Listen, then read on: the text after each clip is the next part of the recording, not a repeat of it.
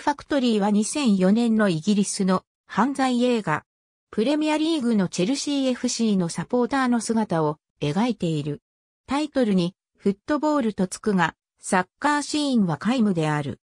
日本では劇場未公開だが、2006年5月10日に DVD が発売されている。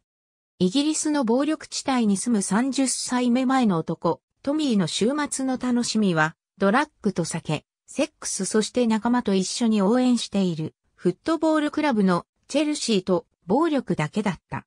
日々意味のない喧嘩に明け暮れていたトミーは、いつものように酒場で仲間たちと飲んでいる時に最大のグッドニュースを聞く。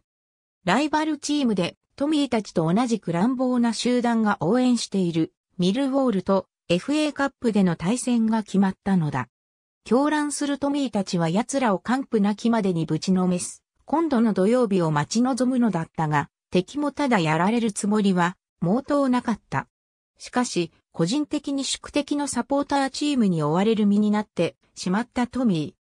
それがきっかけで自分の人生、これでいいのか？意味はあるのか？と自問する。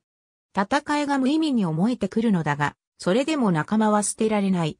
トミーは予知夢に見る自分の悲惨な末路に悩まされながら、ある結論を見出す。